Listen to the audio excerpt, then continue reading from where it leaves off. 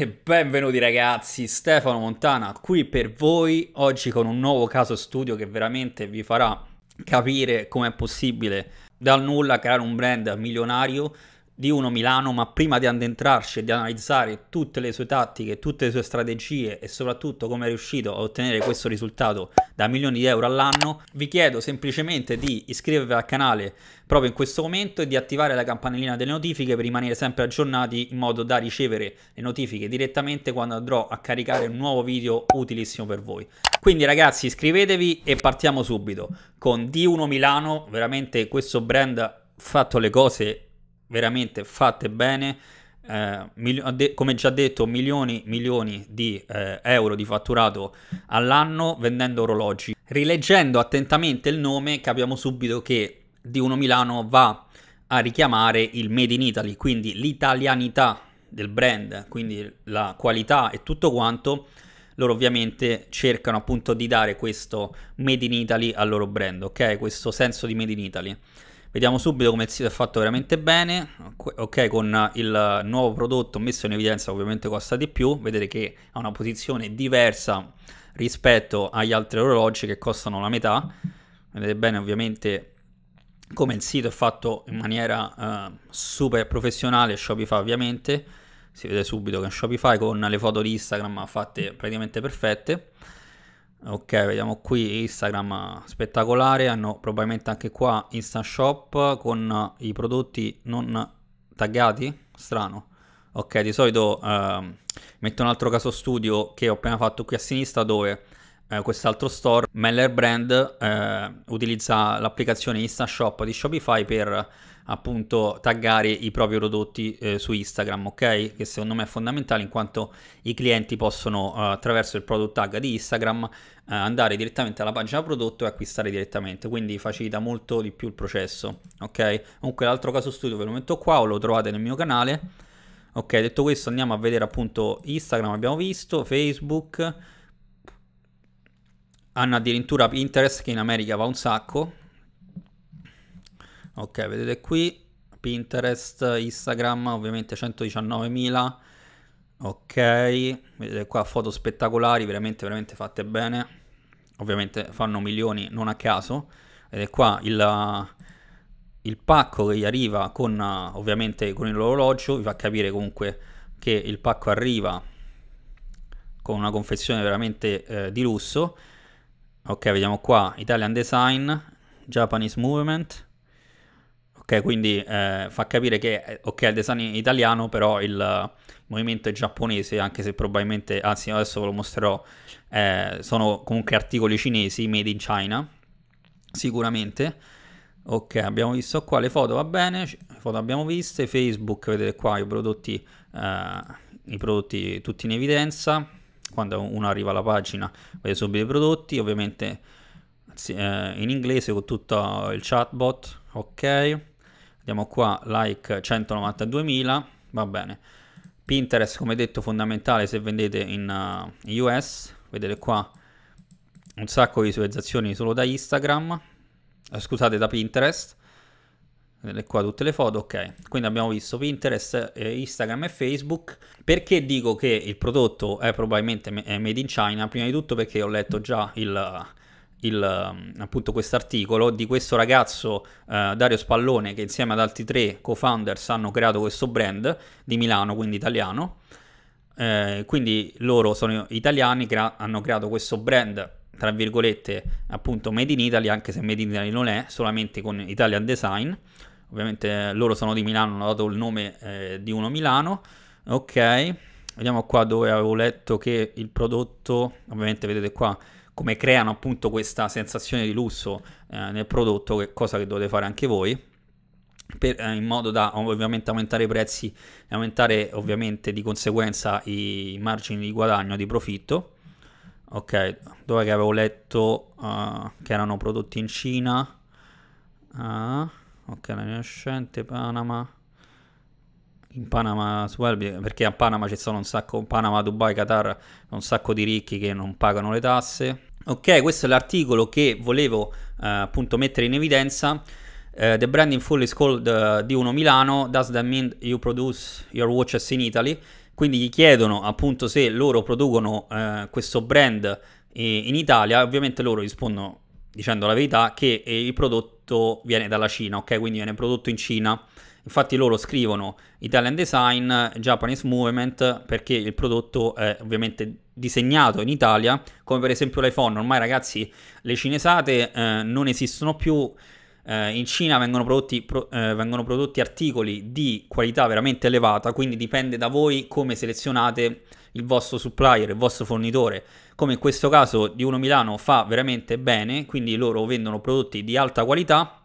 Ovviamente eh, li vendono a un prezzo molto più elevato per ricavare più profitto, come tutti i business eh, del mondo e quindi loro fanno le cose veramente fatte bene. Qui anche eh, specificano che eh, non siamo obbligati a produrli in, in, Svizzera, prima di tutto perché ovviamente gli converrebbe molto di meno in termini di profitto, andrebbe a abbrassare, a, a tagliare proprio drasticamente il loro margine di profitto perché costa penso 3, 4, 5 volte di più produrli in Svizzera ovviamente, che è la patria degli orologi. E, ma focalizzandosi di più sul, appunto sull'estetica, vedete qui, eh, del, appunto del brand, ok?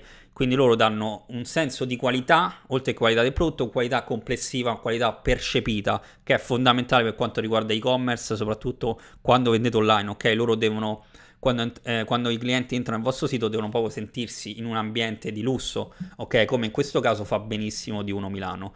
Quindi complimenti a questi ragazzi italiani e come vediamo nella fine dell'articolo qui eh, loro utilizzano anche eh, suppliers eh, italiani che fanno il design e eh, comunque il pacchetto tutto bello eh, che gli arriva ai clienti fa, eh, beh, viene prodotto in Italia appunto per appunto eh, come vedete qua occhio al dettaglio. Fondamentale ragazzi. Tornando al sito web eh, notiamo subito come il sito vabbè, ovviamente come ho detto in precedenza è fatto decisamente bene. Vedete qua fanno addirittura l'upsell del cinturino 110 euro 150 quindi non eh, decisamente non economico che ovviamente eh, vanno a targetizzare una, appunto quella nicchia di persone comunque che adorano, che hanno i soldi già da spendere in eh, ovviamente in prodotti eh, di lusso, quindi diciamo che appunto targetizzano quella nicchia abbastanza di lusso anche se eh, ovviamente ci sono eh, marchi come Rolex considerati ancora di più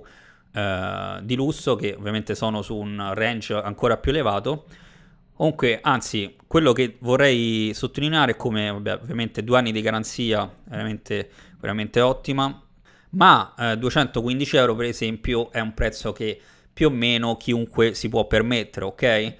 Anche se eh, ovviamente dipende, ma eh, comunque capite bene che loro cercano appunto di dare questo senso eh, di luxury a chiunque, ok? Quindi anche magari una persona che guadagna uh, 1000-2000 euro al mese può permettersi un orologio del genere e sentirsi comunque eh, appunto un senso di lusso, un senso di appartenenza a questa categoria eh, senza necessariamente spendere migliaia di euro. Quindi questo è un problema, tra virgolette, che loro vanno a risolvere, quindi dare appunto eh, questo senso di di lusso anche a persone, tra virgolette, eh, normali, che appartengono quindi a uno stato sociale diverso. Andiamo ad analizzare invece i dati che a noi ci interessano e come soprattutto loro fanno marketing.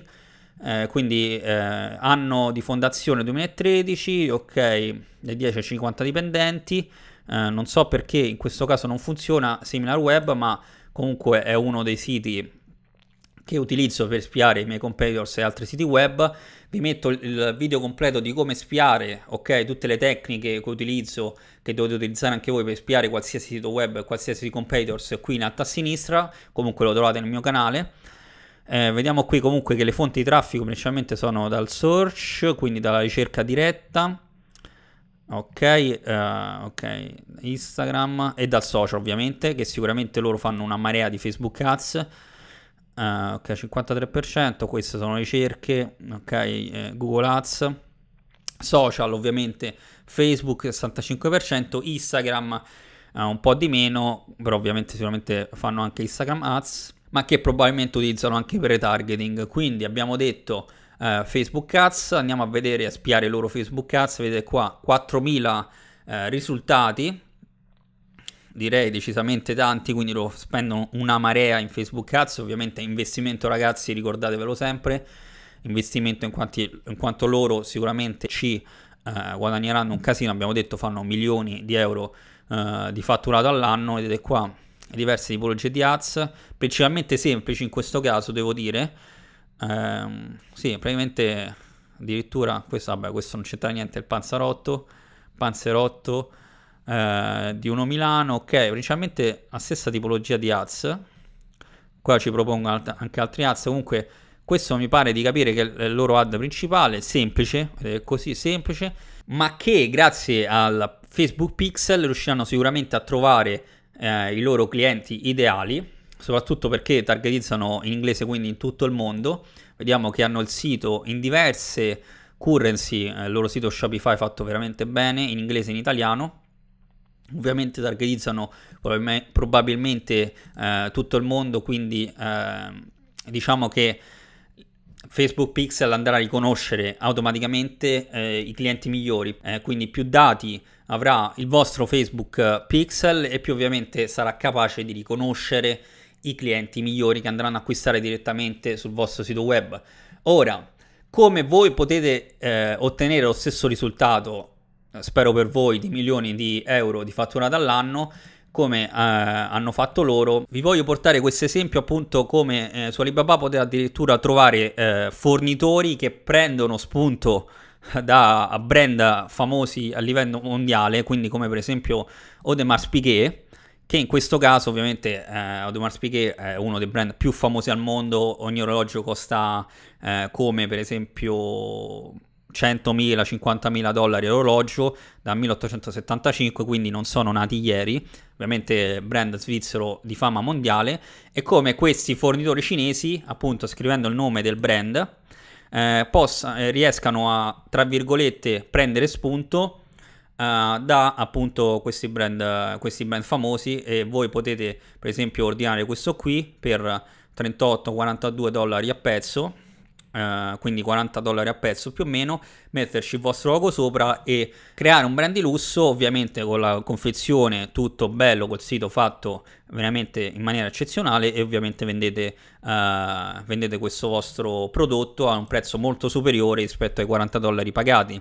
Quindi se per esempio in totale un, un orologio vi costa 50, lo vendete tranquillamente a 150 e già eh, avete fatto eh, un 100 euro di profitto per ogni prodotto, più ovviamente il costo di acquisizione tramite sponsorizzate che sarà intorno, per esempio, ne so, 50 euro. Faccio un esempio eh, così a caso, quindi 50 euro prodotto, 50 euro costo per acquisto e voi già vi mettete in tasca 50 euro per ogni vendita. Quindi fate 10 vendite eh, di orologi al giorno e già sono 500 euro al giorno netti di profitto. Prima di iniziare qualsiasi brand, qualsiasi logo, qualsiasi Shopify store, assicuratevi di fare le cose bene, che ci sono una miriade di cose da imparare tutti i giorni. Facebook Ads sono in continua evoluzione, quindi dovete rimanere sempre aggiornati, Instagram Ads, Stories, nuove fonti di traffico come Google Ads, YouTube Ads, Pinterest, ragazzi ci sono una miriade di cose da fare, quindi come ti ho appena dimostrato la possibilità di avere successo esiste, è concreta e dipende solo da te. La prima cosa che non dovete fare è mollare perché il fallimento è proprio la base di qualsiasi business, di qualsiasi storia di successo.